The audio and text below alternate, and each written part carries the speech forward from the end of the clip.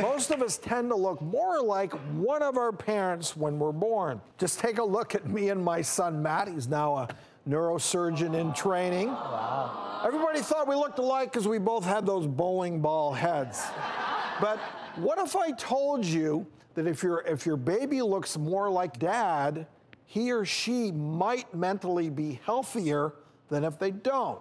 Well, there yeah, I scratched my head on this one too. There's new research out there saying that that's the case. The study was done on infants living with single moms.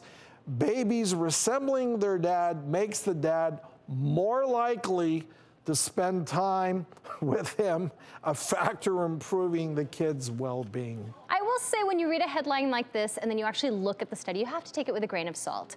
Because when I read this study, what they did was, like you said, they polled single moms. They said, do you think your baby looks like the dad? How much time does the dad spend with him? And then they surveyed them a year later to say, how healthy is your kid?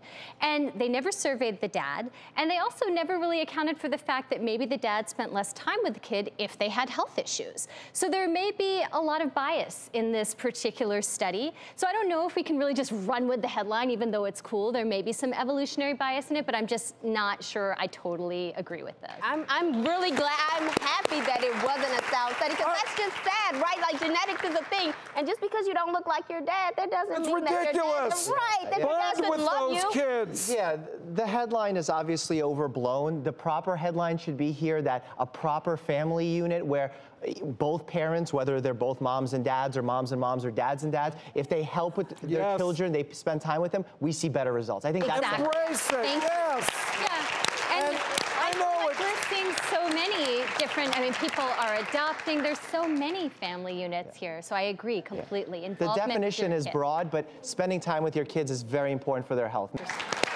And guess what?